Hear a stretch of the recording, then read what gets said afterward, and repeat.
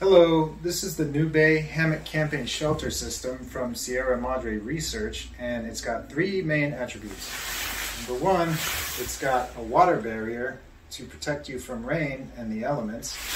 Number two, it's got an insect shield to protect you from annoying insects. And number three, it's got a gear stash for stashing your gear.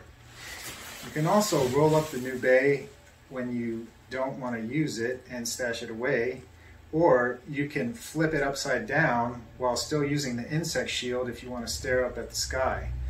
Like all of Sierra Madre Research's products, the Nube is the best hammock camping shelter system on the market, and I highly recommend the Nube. It's a great product.